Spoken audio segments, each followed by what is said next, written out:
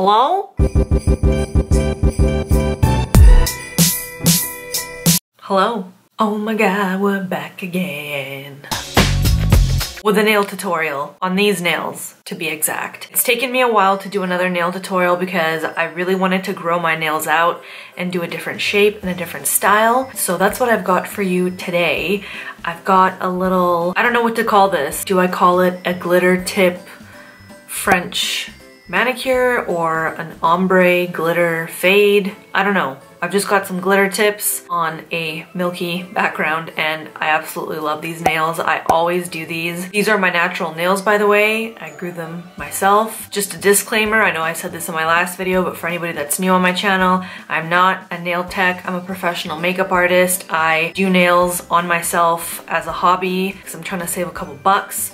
So if there's any nail techs watching, I'm doing my best with what I have. Just a random gal at home with some nail polishes, okay? Thank you guys very much for the tips on my last video, by the way. I incorporated one of the tips in this video. I have been editing this tutorial all freaking day. I've come to realize that nail tutorials are way harder to edit than makeup tutorials because there's so much shit to explain. I think I'm gonna end this intro here. I don't wanna make this too long. If you guys are liking these nail videos, please give this video a thumbs up. Let me know in the comments what you think I should do next. And yeah, let's get into it.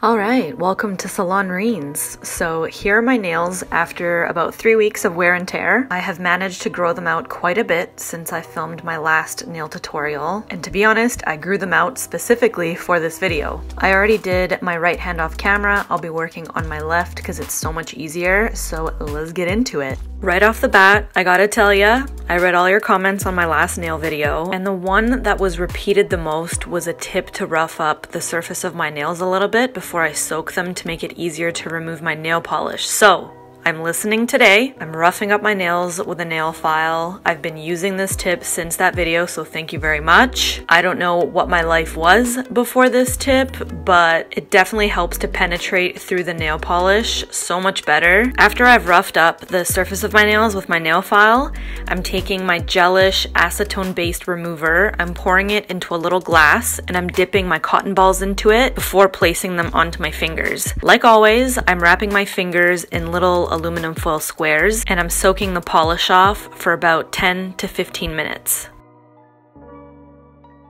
15 minutes later. I'll eventually stop including this in my nail tutorials, but I feel like it's handy for beginners who happen to stumble across my videos. Now it's time to remove the old polish, which is pretty effortless this time around because roughing up the surface of my nails before soaking them made the biggest difference, and the polish is basically just crumbling away on its own. The very tips of my nails need a little extra effort, especially my index finger because it had a crack in it before, but overall this technique is pretty good pretty, pretty, pretty good. As always, I have my little dirt devil on site so I can clean up my mess because keeping a clean workstation is very important to me. No, you are not seeing things. Yes, I did change my sweater because I felt like gray was a better backdrop for my after shot. Here are my nails clean of my old nail polish. I'm actually pretty proud of the length that I was able to achieve. Now I'm moving to the most satisfying part of this, which is the grooming and the filing of my nails. I feel like this step takes my manicure to the next level. As you can see, I've got a ton of dry skin around my nails, which is no challenge for the Sally Hansen Instant Cuticle Remover. I talked about this stuff in my last video video, it's it's magic. I apply it to my cuticles and the area surrounding my nails, and I leave it to sit for five minutes, and just like that, the dead skin around my nails and my overgrown cuticles melt away. So with the paddle side of my cuticle pusher, I'm scraping away all of the dead skin, I'm wiping the mush away with a cotton pad, and I'm trimming the dead cuticles that I pushed back with my cuticle nippers. I have a really sharp pair. Again, it's very important to have a nice sharp pair so that you're not tugging and ripping your cuticles. You of course don't have to do this step if you don't want to, but for me personally, I cannot do my manicure without doing this. Sometimes when I'm doing this, my cuticle area looks a little flush, but rest assured it doesn't hurt at all. I just, I go in on that area so naturally it gets a little red. And when I'm trimming my cuticles, I always have a paper towel underneath my hand to ensure easy cleanup afterwards.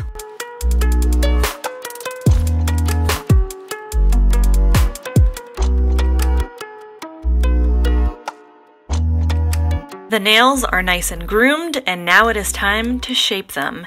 And because my nails are grown out now, I can finally go for a coffin shape today like I've done on my right hand.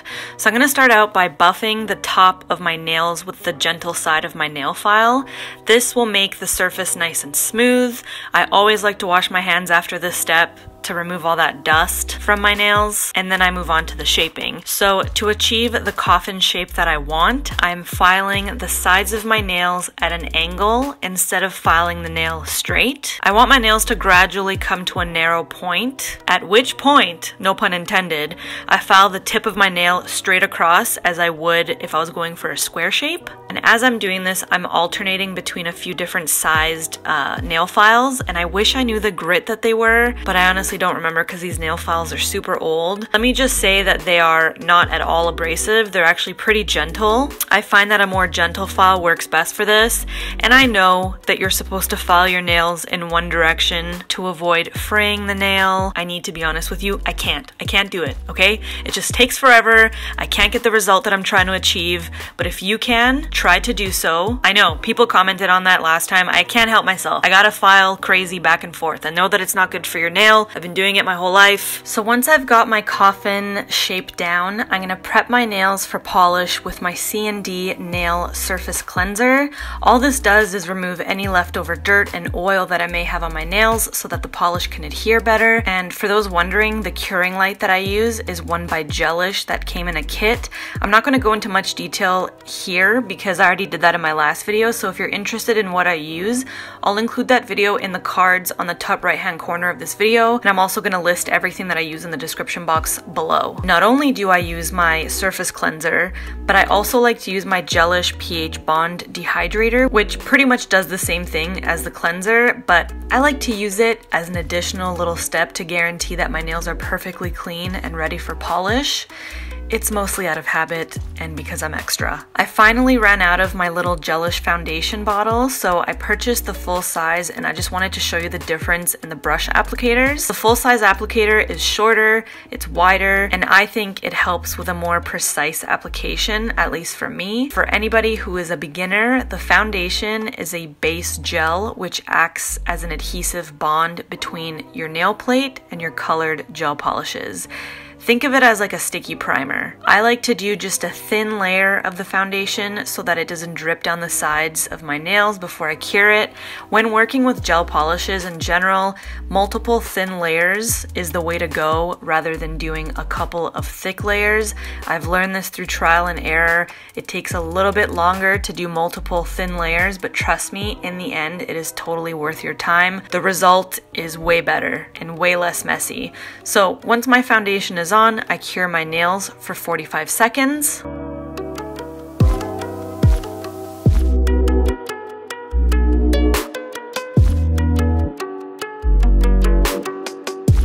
Today, I'm going to be working with a Gelish structure gel, and this is in the shade Translucent Pink. This stuff is amazing.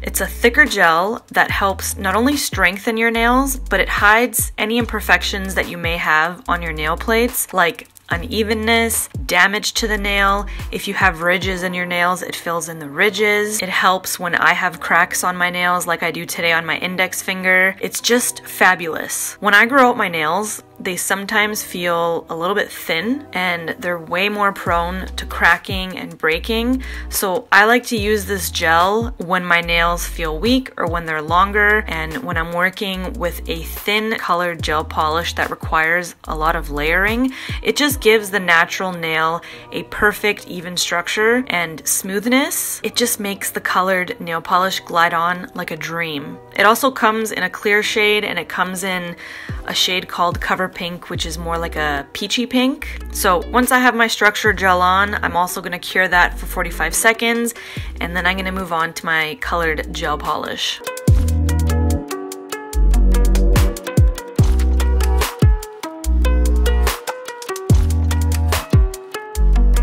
Today I'm going to be using an OPI gel polish in the shade Funny Bunny, which is probably my all-time favorite nail polish shade. Aside from Mod About You, this is just one of my favorites. I've gone through so many bottles of this. It is my go-to when I want a flawless, feminine yet sophisticated, dainty manicure. Funny Bunny is just gorgeous. It's like a soft, milky white shade with a cool, pale pink undertone with a little bit of iridescence. I can't put into words just how gorgeous it is. You'll have to watch me as I'm layering it. So like I said earlier, that structure gel that I set down really helps when I'm working with thin shades like Funny Bunny. Because this polish is so sheer, it is not forgiving if you have ridges or any unevenness on your nail plate. You have to layer it a lot to conceal those imperfections. So if you're not using a structure gel, you're gonna have a little bit of trouble with this. If you are using a structure gel, it'll save you so much time. With the structure gel, if you're careful when you're applying it, you could probably get away with doing one or two layers, but I like to build it up a bit more. So as usual, I'm gonna cure it for 45 seconds between each layer, making sure to also run the polish along the very tip of my nails to seal the manicure. And today I ended up going with four layers because I wanted it to look nice and milky so that the glitter polish that I applied to my tips really pops against it, if you know what I'm saying.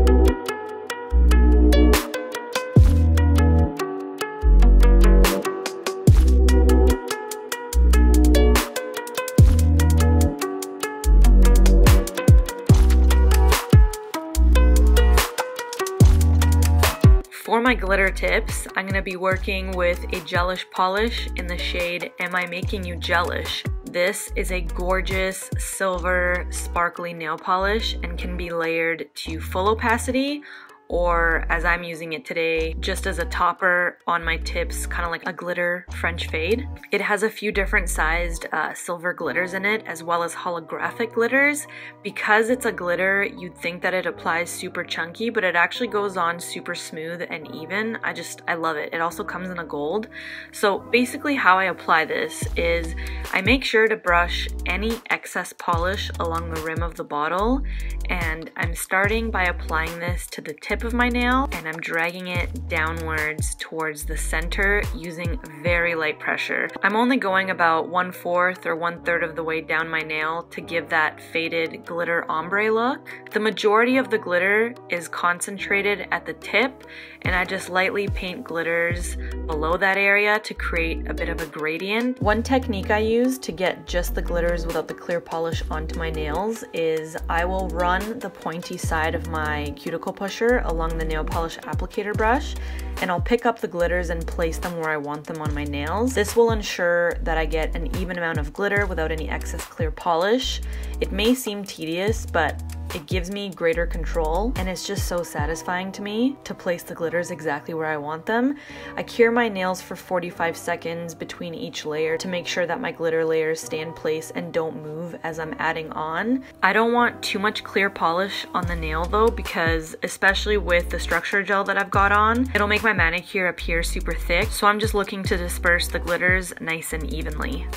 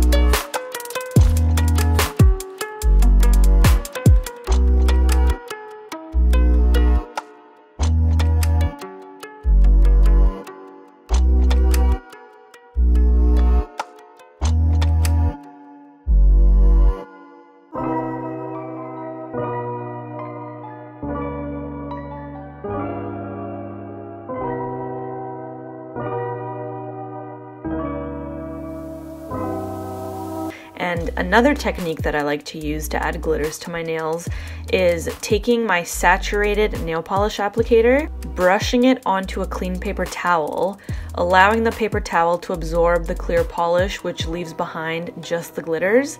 And then I go in and I pick up the glitters uh, with that same pointy tool with no additional clear polish, and I place the glitters exactly where I want them on my nails. And again, I'm focusing the majority of the glitter at the very tip, and I'm creating more of a gradient towards the center.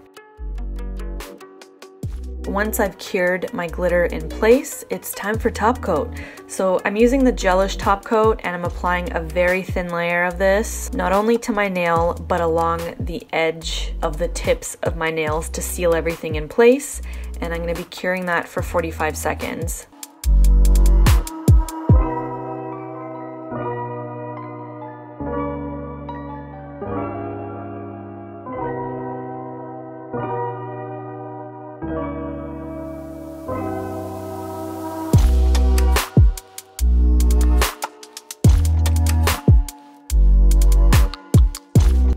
Once I'm done, I'm gonna take another cotton pad with my CND cleanser and I'm gonna wipe my nails clean. This removes that sticky top layer that's on my nails and it will leave them really nice and clean and glossy.